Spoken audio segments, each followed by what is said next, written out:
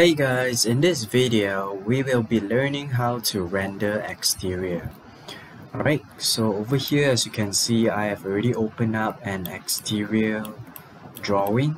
Okay, so basically this is a cafe or maybe a restaurant. Okay, so it's located outdoor. Right, so right now we can straight away just click onto our render.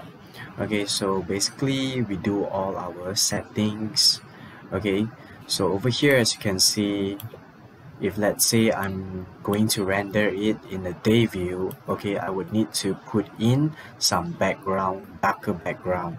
Or else uh, if I render in the day view alright daytime it your entire rendering will become white color.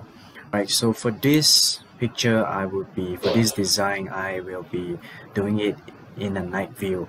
Alright so I'm going to just quickly choose one scenery which is the harbor city. Alright so of, of course as you can see right over here in my 3d and also my 2d I've already set all my lights my lightings. So because we know this is a night view so definitely we need to set the lightings. Right so once it's done we can immediately just click onto our snapshot okay since I've already took earlier right? So basically just click on submit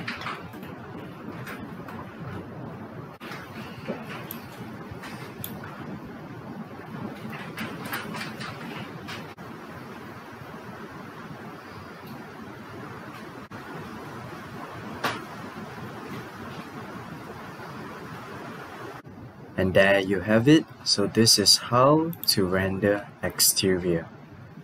Good luck trying guys.